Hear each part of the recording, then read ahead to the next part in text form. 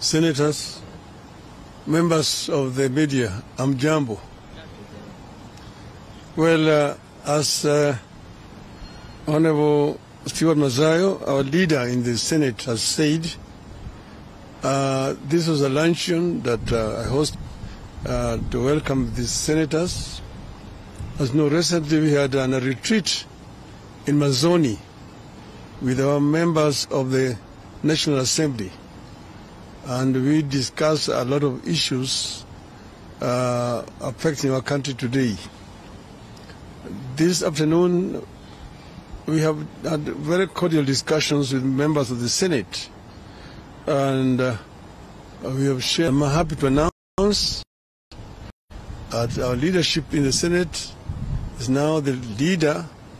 The minority leader is Honorable Stewart Madzayo, deputed by Honorable uh, Senator Enoch Wambua from Kitui, and the whip is Honorable Ledama Olekina, deputized by Honorable Edwin Sifuna. That is our lineup in the Senate. This is because um, uh, some of officials who were there before have opted to now work with uh, the majority party in the Senate. And we want to be very focused. So asked our team to continue to uh, represent Azimio effectively in the House. Azimio stands for the defense of the people of Kenya, the interest of our people uh, in the House.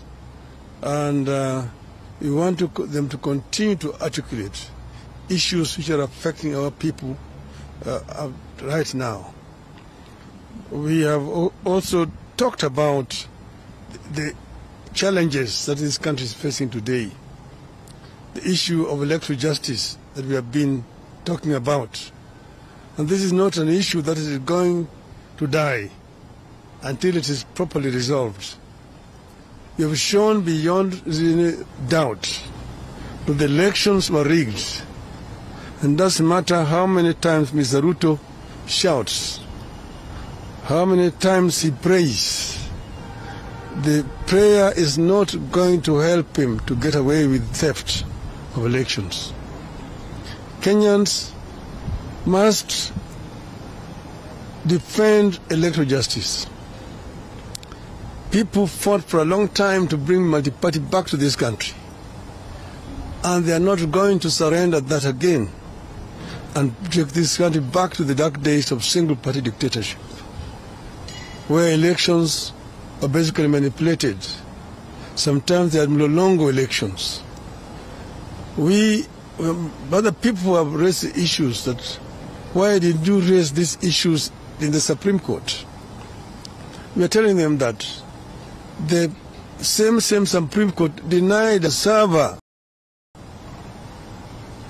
When we took our case to the court, we demanded the court to instruct the IEBC to give, to, uh, give us access to the server.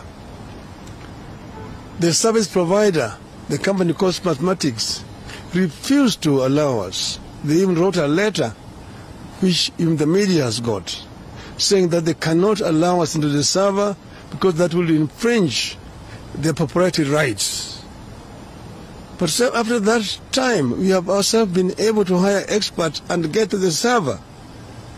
And we have exposed the information. We have shown the whole world the information, what is in the server. If they want Kenya to be led by a minority, fine, but Kenyans have to make that decision themselves. Do we to put these things under the carpet? Somebody got 5.9 million votes. Other person got 8.1 million votes.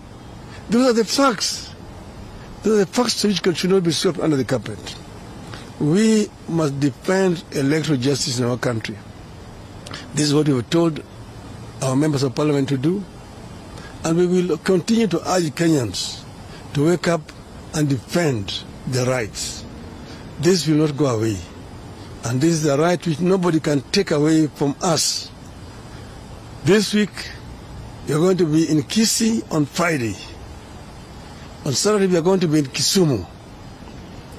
And then we will also be doing a prayer, a prayer for the IEBC. That we have and get an IEBC which will defend the right of our people. And that prayer will be done in front of the premises of IEBC sometimes next week. Thank you.